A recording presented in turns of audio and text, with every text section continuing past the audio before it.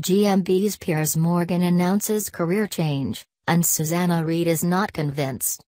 Piers Morgan is up for anything and earlier on today's Good Morning Britain, the presenter debuted his brand new venture.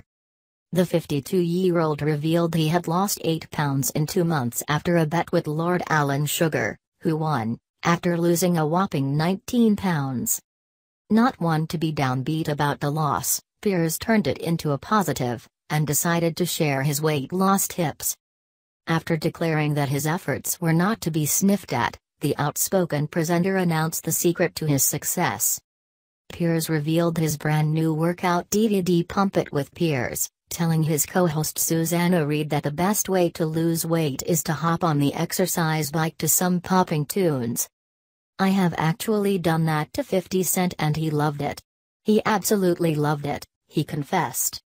What's more, the funny routine allows users to eat wine and cheese whenever they wish. Good Morning Britain viewers were in hysterics over the joke release, and flocked to Twitter to discuss Pump It with Piers.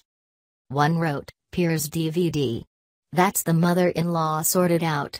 Sick. Another joked, can be picked up in any pound shop's reduced items bucket. Sick. A third laughed, at Susanna Reid 100 euros would be more fitting putting up with Piers, lose your mind in 10 minutes when win DVD. Sick.